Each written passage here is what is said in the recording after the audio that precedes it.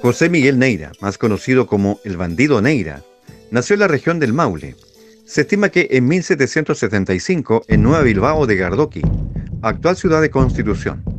Poco se sabe de su infancia y educación, pero se sabe que escapó de su hogar a los 10 años y se dedicó desde joven a delinquir en bandidaje, a vigiato y al hurto de viajeros por la región.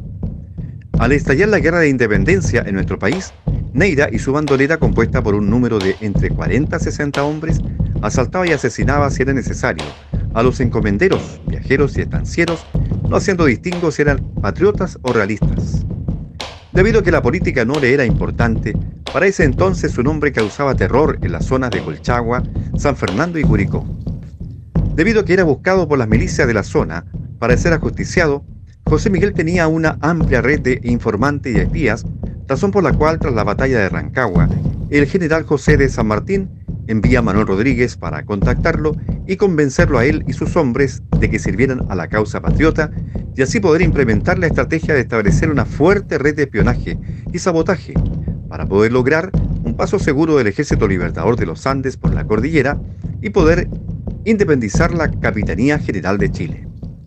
Nair acepta la propuesta, debido a que le era favorable pues se le absolverían de sus cargos criminales y se le nombraría coronel de milicias, con la condición de no atacar ni asaltar a los partidarios del bando independentista.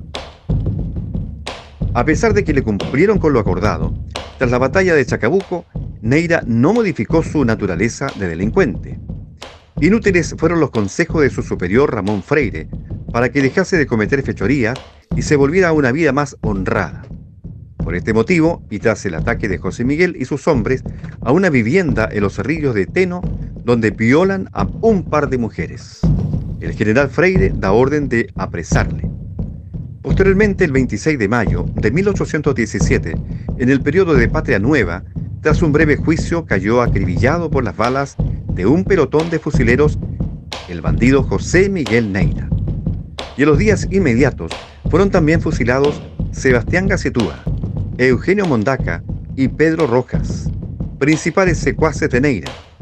Asimismo, con posterioridad, el general Luis de la Cruz, entonces gobernador de Talca, hizo fusilar a varios neirinos y otros fueron fusilados en años posteriores.